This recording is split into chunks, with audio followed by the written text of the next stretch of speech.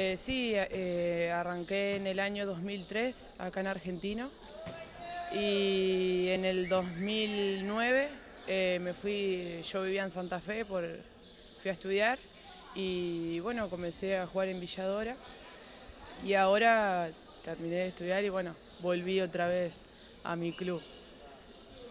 Bueno, en, en- en Villadora jugaste liga, jugaste torneos asociativos.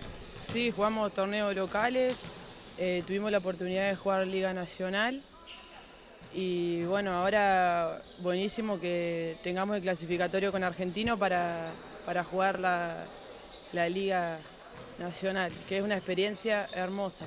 Para toda jugadora de vóley creo que una de las metas es jugar una Liga Nacional y mucho mejor con el club donde naciste.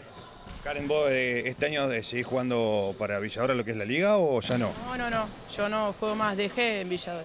Eh, por motivos de pase, yo en Argentino todavía no puedo jugar, pero veremos el año que viene, esperemos que, que sí.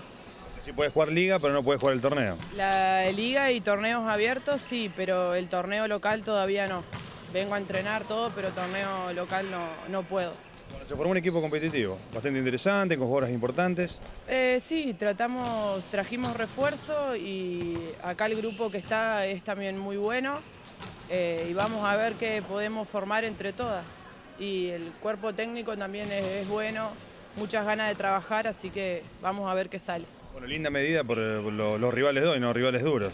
Y Echagüe de Paraná también jugó liga el año pasado y quedó en sexto lugar y es un rival muy bueno y Rosario también es la primera experiencia como argentino, eh, pero también viene con las mejores jugadoras de Rosario, así que también bien. Bueno.